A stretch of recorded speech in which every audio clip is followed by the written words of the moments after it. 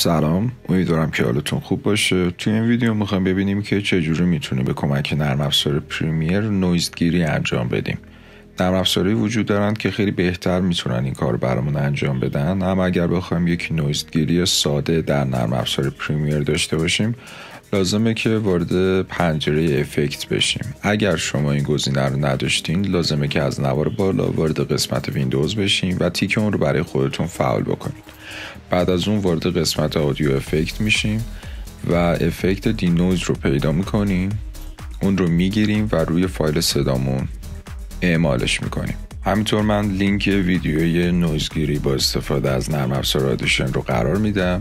می‌تونین اون رو هم ببینین. امیدوارم که بتونه بهتون کمک بکنه و خیلی خیلی ممنونم که این ویدیو رو دیدین. خوشحال میشم کانال ما رو subscribe بکنی و ممنونم ازتون.